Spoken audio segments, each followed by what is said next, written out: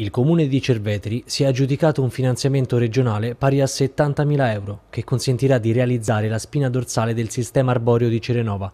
Il progetto Ossigeno, infatti, sarà finalizzato a garantire la ricucitura del corredo vegetale tra le singole zone, in funzione di una maggiore continuità paesaggistica ed ecologica.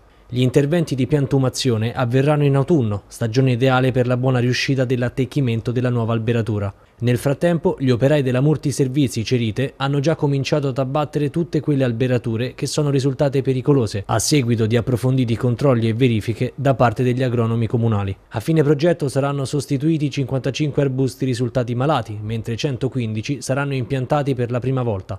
In totale, la città avrà 170 nuove alberature.